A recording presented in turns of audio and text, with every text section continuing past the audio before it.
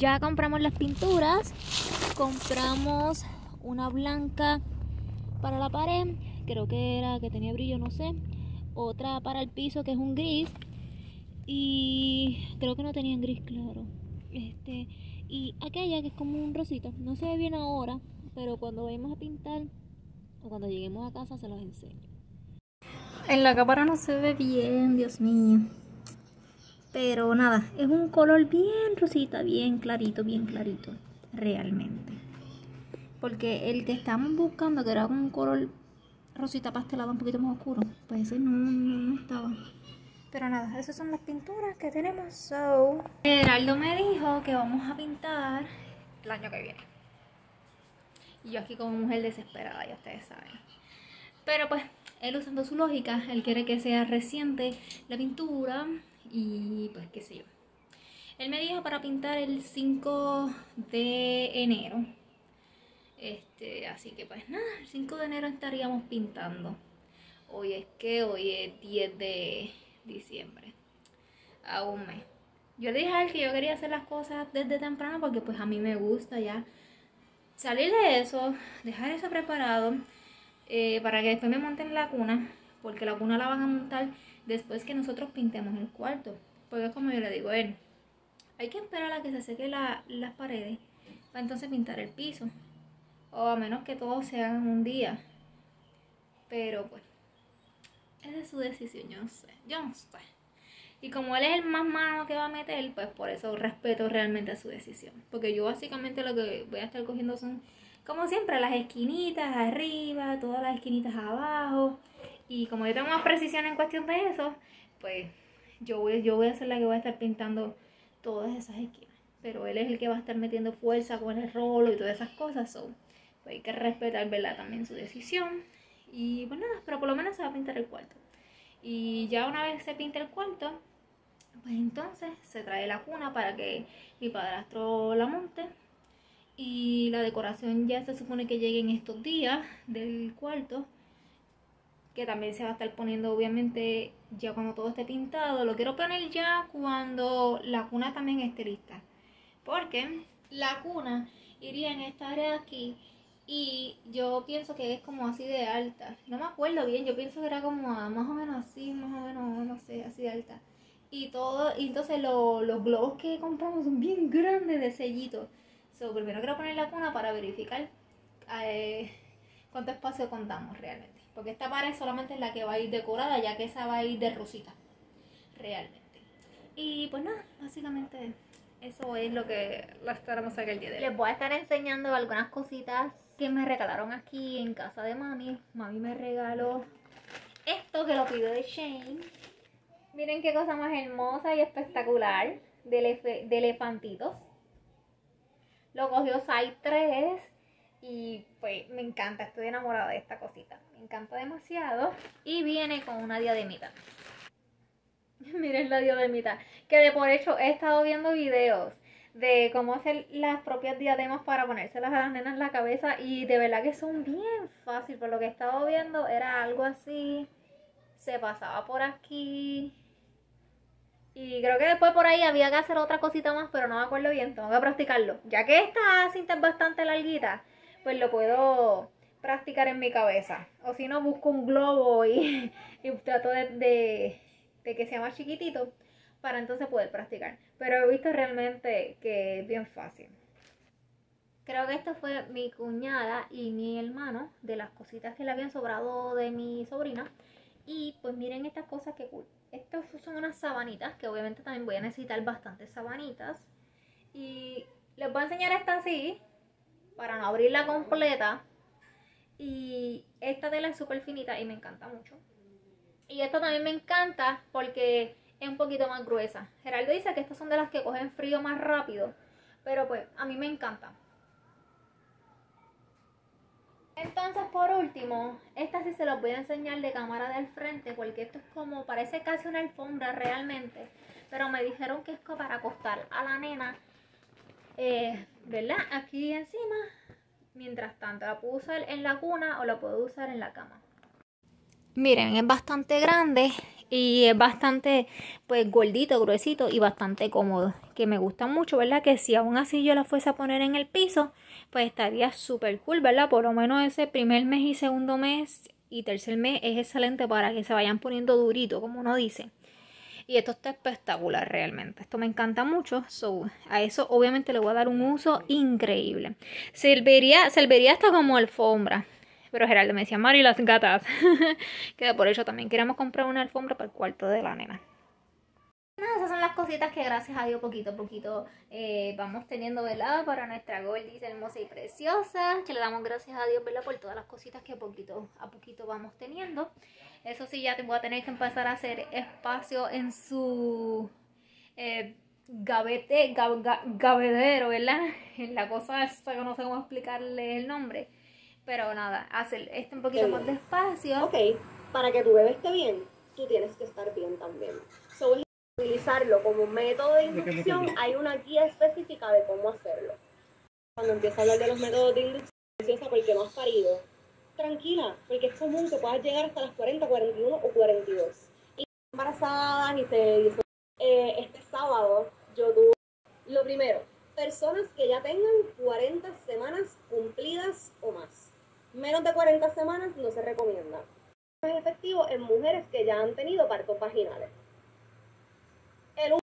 Recomienda que tomen 60 mililitros de aceite de castor junto con 16 onzas de agua de coco.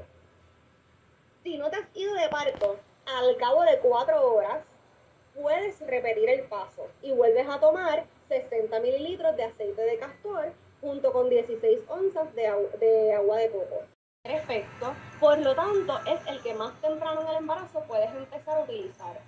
Este método eh, lo puedes tomar desde las 35 semanas, si lo vas a tomar oral, o lo puedes tomar desde la semana 37 si lo vas a utilizar intravaginal. El Primrose Oil contiene prostaglandinas también. Rojas de frambuesa.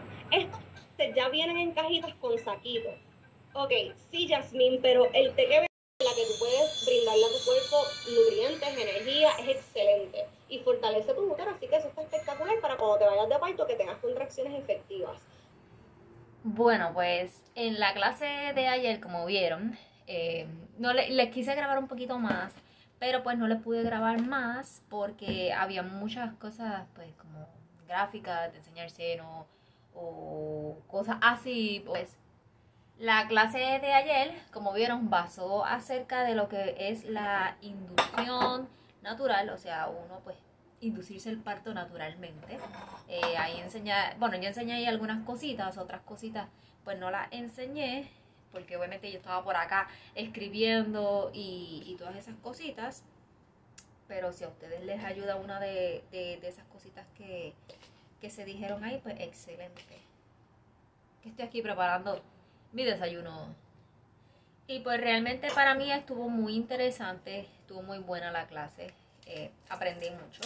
En especial de la famosa pitocina, que es la que le ponen a uno como para pues... Siempre dicen que eso te crea un montón de dolor. Y ella estaba diciendo que depende de cada cuerpo, de cada mujer. Este, hay mujeres que sí dice que cuando le ponen eso le duele un montón. Por ejemplo, mi mamá dice que ella cuando se lo pusieron a ella sí le dolió un montón. Hay otras mujeres que dicen que no le duele tanto. Es como ella decía, todo depende del dolor que cada mujer puede aguantar. Por eso cada embarazo, aunque como ella decía, tú puedes tener cuatro o cinco hijos, pero cada embarazo tuyo va a ser nuevo, porque eso va a ser un bebé diferente. Y pues eso como que me gusta. Y pues nada, este, dio medicamentos que también estuvo muy interesante, medicamentos que se pueden conseguir eh, por allá por farmacia. Ay, Dios mío, no sé por qué la pantalla se está poniendo oscura. Pero nada, también algunos medicamentos se los enseñé, hasta lo del té. Yo había escuchado lo del té. Y pues nada, había cositas que si ya yo había escuchado, otras cosas yo no las había escuchado realmente. La pitocina me hizo cambiar de mi manera de pensar porque yo siempre decía, no, le voy a decir que no, que no me pongan eso, chalala. Pero realmente ella dice que no tiene como que como tal efectos secundarios pues, sobre bebé, que es lo más importante. Y pues básicamente lo que eso hace es que te crea pues, contracciones y te y hace que el útero como que contraiga todo ese revuelo para que pues bebé pueda salir. Normalmente ella dice que los doctores hacen esas inducciones y lo hacen antes de tiempo, o sea, que no esperan a que uno esté dilatando a mitad o más de la mitad o pues, casi cerca, entonces que ahí es cuando realmente se debería de inducir un parto, porque de qué vale inducir el parto cuando no estás dilatando, no estás haciendo nada, que eh, normalmente las inducciones pues se tardan, no todas las inducciones eh, hacen el mismo efecto en la persona, porque por ejemplo, ella estaba diciendo que como ella es como tipo partera, pues el aceite de castor, ella estaba diciendo que lo usó con una muchacha este fin de semana. Y eso fue lo que la llevó en 12 horas a poder este, parir. Que eso fue lo que la, la, ayudó. Este, también este, han usado el, té, que el té básicamente es como, ni siquiera es como para inducir, es como para que no botes tanta sangre, em, como más para uno, podríamos decir. Y había otro medicamento, es que el nombre es bien raro, misoprostol, no sé, algo así.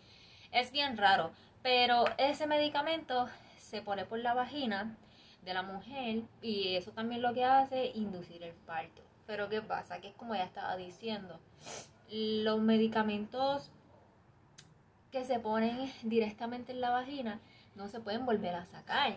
Y es como que si eso le hace una reacción a la, a, la, mamá, o le está cayendo mal ese medicamento, o le está haciendo algo bebé, pues no hay manera de cómo sacar ese medicamento, medicamento a comparación de aquellos que se ponen por vena. A mí me encanta ella cómo explica y cómo hace todo, de verdad que sí. Ella habla bien claro, podemos decir. Ella habla de cómo los doctores hacen las cosas para que si se ocurra la cesárea, nos abre los ojos, nos da herramientas, nos habla de las leyes, nos dice que podemos demandar si nos hacen algo sin nosotros, eh, sin nuestro consentimiento y cositas así. Es como que, wow, no sabía eso, qué interesante. Y pues realmente es bueno saber todas esas cositas. Ella dice que normalmente eh, sin consentimiento los ginecólogos eh, le rompen a la, a, la, a la, mujer como a las 37 semanas eh, con sus dedos, como una membrana, eh, una telita que está adentro. Y eso también es un tipo de inducción, que creo que se lo llega a grabar, pero no me acuerdo. Y también, después, nada, estaba hablando acerca de eso y ya estaba diciendo que los doctores pues, hacen eso a propósito, como quien dice, para que ya si salga el bebé y tú sabes, ellos están pues, atendiendo a, otras personas, estar un poquito más tranquilos. Pero yo en mi caso siempre he dicho, no sé si lo he compartido con ustedes, que en cuestión de eso, eh, yo tengo unos ejercicios que ya yo los había apuntado de los libros que había leído y de, la ginecóloga que había escuchado, que había escuchado en YouTube pues yo apunto unos ejercicios y algunas cositas naturales. Que esas cositas sí yo los voy a empezar a hacer y ya sé que tengo que empezar a hacerlas desde, desde las 37 semanas en adelante. Porque 36 semanas para abajo se considera como un parto prematuro. Así que lo que voy a estar haciendo es eso. Ese tipo de ejercicios que ayudan a que a que bebé pueda bajar, se pueda encajar bien y todo ese tipo de cosas. También eh, lo de las contracciones. Eh, eh, ¿Cómo les explico? Esas clases a mí me han ayudado muchísimo. Hay gente que me ha dicho, pero ¿por qué coges eso? Si cuando tú vas al parto se te olvida todo. Pero yo soy primeriza. Entonces, eh, yo le puedo preguntar a las personas y las personas me van a dar su experiencia, pero como yo nunca he estado en una situación así, pues yo no sé qué, qué hacer en ese caso. Me han servido esas clases muchísimo en abrirme la mente para ver qué me, me espera en el parto, ya que ella da bastante información de lo que puede esperar, de lo que no se espera. Ella siempre nos dice, tengan mente abierta para todo, mente abierta para un parto normal, mente abierta para una cesárea, mente abierta para un parto en tu casa, mente abierta para un parto en el carro, mente abierta para un parto en un centro comercial. Es como que imagínate todos los escenarios y verifica cómo tú bregas con el dolor ella nos estaba diciendo que nosotros aprovechemos las contracciones falsas para ir practicando, para no desesperarnos, para respirar Em, hay ejercicios de mover la cadera de lado a lado, de frente a atrás. Las bolas, las que tengan las bolas, pues excelentes y cositas así, que también lo pueden usar. Y también se pueden enyangotar, se ponen en la pared. Que yo realmente voy a tratar, sinceramente, porque yo quiero tener esos recuerdos en mi canal, de yo misma grabarme mientras yo tenga contracciones, así sea, así, así sea que me den falsas. Me voy a estar grabando y cuando tenga las contracciones verdaderas, pues yo también me voy a grabar y voy a tratar, ¿verdad? De, de, aplicar todas esas cosas. Que ya yo tengo realmente en mi cabeza más o menos de lo que yo voy a estar haciendo, que es pues lo que les acabo de mencionar, todas esas cositas. Y pues, no ir, por lo menos yo tengo mi pensar. Obviamente eso sería ya después de las treinta y pico de semana. No ir al doctor de la primera contracción que tenga, porque en el doctor muchas veces te van a dejar esperando un montón de horas muchas veces no te dejan que te pares de la camilla y cositas así.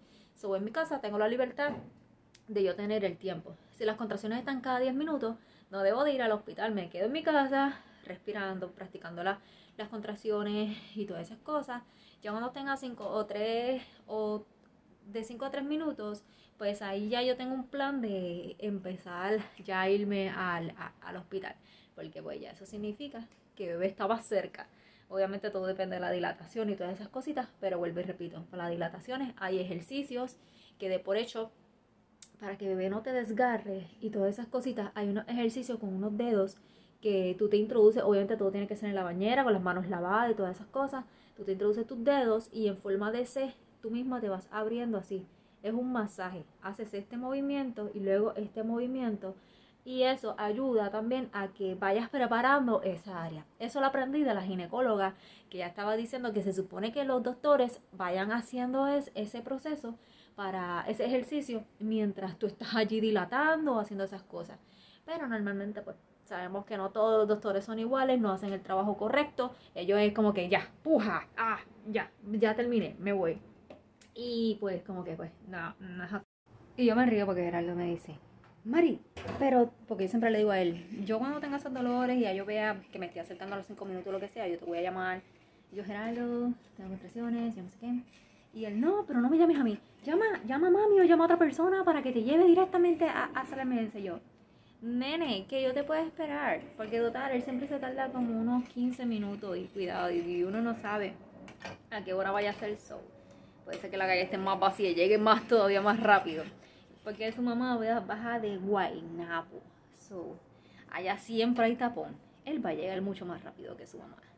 Y pues yo le he dicho a menos que obviamente sea una super emergencia, de que yo sienta que, ay, acá se va a salir, pues ni modo allá. Ahí le digo a los vecinos, miren, llamen. Pero pues mientras tanto, pues yo le he dicho a él que sí, que se puede esperar, que no hay problema. Pero pues él tiene ahí su, su manera de pensar.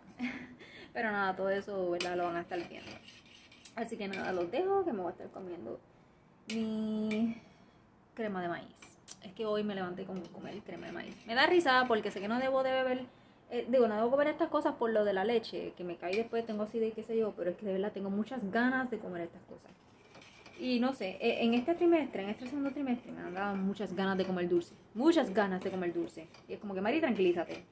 Y pues yo estoy tratando de tener el control de, de esas situaciones. Como que, ok, me como dos dulces en el día y ya, no me puedo comer más nada.